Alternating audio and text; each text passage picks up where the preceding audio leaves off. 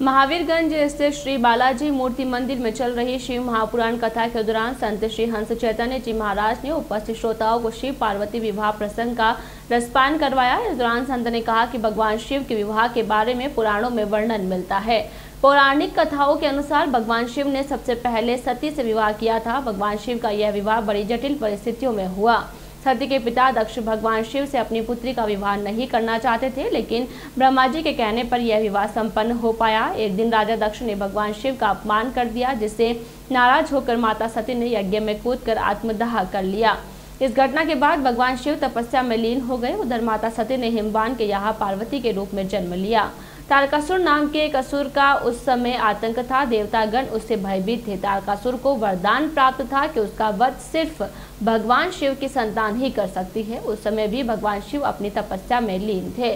तब सभी देवताओं ने मिलकर शिव और पार्वती के विवाह की योजना बनाई और भगवान शिव की तपस्या को भंग करने के लिए कामदेव को भेजा गया, लेकिन वह भस्म हो गए। देवताओं की विनती पर शिवजी, माता पार्वती जैसे विवाह करने के लिए राज़ी हुए। विवाह की बात तय होने के बाद भगवान शिव की बारात की तैयारी हुई। इस बारात में देवता, दानव, गण, जानवर, सभी लोग शामिल हुए। भगवान शिव की बारात में भूत पिशाच भी पहुँचे।